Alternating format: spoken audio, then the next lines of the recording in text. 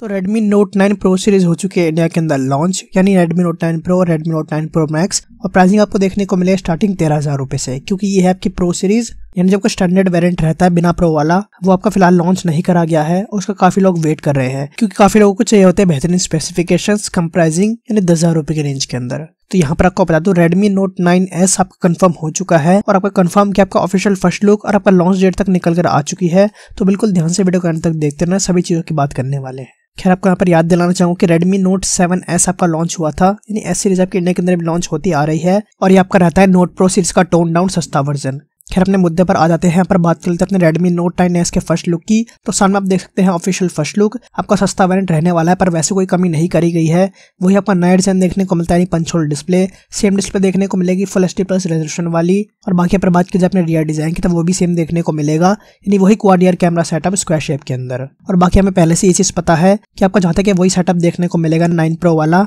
यानी अड़तालीस मेगापिक्सल का प्राइमरी, आठ मेगापिक्सल का वाइड एंगल, पाँच मेगापिक्सल का मैक्रो और दो मेगापिक्सल का डेप्थ सेंसर।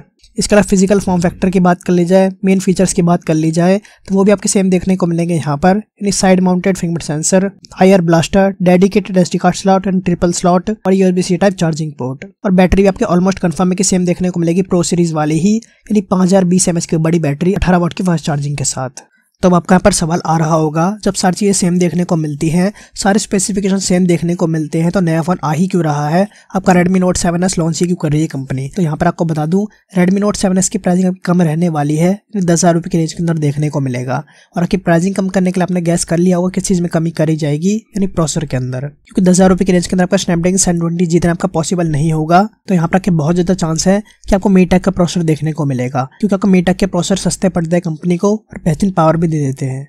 तो या तो आपको देखने को मिलेगा हेलियो जी नाइनटी टी या तो आपको देखने को मिलेगा हेलियो जी एटी क्योंकि जो आपका रियल मी सिक्स आई है, जो कि आपका सत्रह मार्च को ऑफिशियली लॉन्च होने जा रहा है म्यांमार के अंदर, उसके अंदर भी आपको हेलियो जी एटी देखने को मिला है। और आपकी रियल मी सिक्स आई की प्राइसिंग में रहने वाली है नोट नाइन एस जितनी ही लगभग। क्योंकि ये चीज़ हमें पता है कि रियलमी और रेडमी आपके लगभग सेम स्पेसिफिकेशन आजकल दे रहे हैं कि लगभग सेम प्राइसिंग देखने को मिलती है एक दूसरे को बराबरी की टक्कर देते हुए चल रहे हैं। वैसे पर बात कर अपने रेडमी नोट नाइन एस की तो आपको सबसे पहले मलेशिया में लॉन्च होने जा रहे हैं ग्लोबल डेब्यू होने जा रहा है।